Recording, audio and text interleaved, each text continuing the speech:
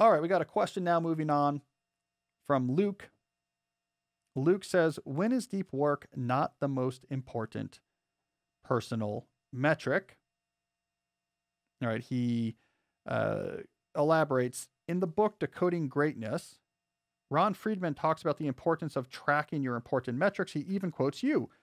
How do I know if hours of deep work is the highest leverage metric for me or something else? Well, it's a good question. Uh, I think a useful a useful bit of terminology when thinking about professional metrics comes from the the book the four disciplines of execution 4dx which I, I talk about briefly in my book deep work. And they make a, a, a useful distinction which i've heard other people make as well between what they call lead indicators and lag indicators when it comes to measuring what matters for your work to be more successful lag indicators are the things in the end you actually care about right? I mean, this is the thing in the end that you want to actually improve, and it's very specific to the type of work you do.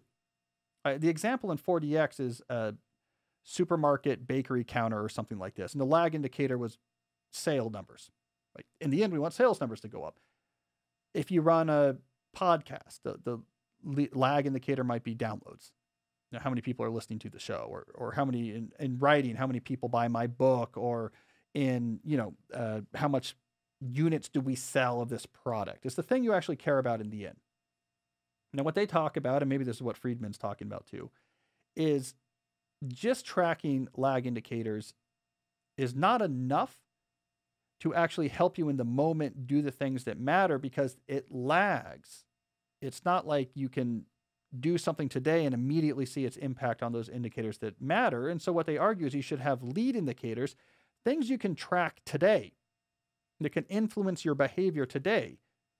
That if you hit good numbers on those, it will down the line help the lag indicators grow. So in the bakery scenario, you want the sales to go up, but the lead indicator might be something like how many customers did we help or how many different uh, display cases or did we clean? I mean, I don't know about bakery, but stuff you can actually do. Deep work is a lead indicator for a lot of jobs, keeping track of how much deep work am I doing is a useful lead indicator because if deep work is necessary for moving the needle in your job, you need to do it to actually move the needle in your job. So it is it is useful. I don't know if I would call it the most important metric though. I mean, in this case, two other things matter. A, do you have your lag indicators right and are you looking at them? If you're just doing deep work for the sake of doing deep work, meaningless you got to know the needle you're trying to move in the end. And you got to be watching that needle to see if it's moving. If that needle is not moving, even though you're doing a lot of deep work, then two, you have to care about what deep work am I doing?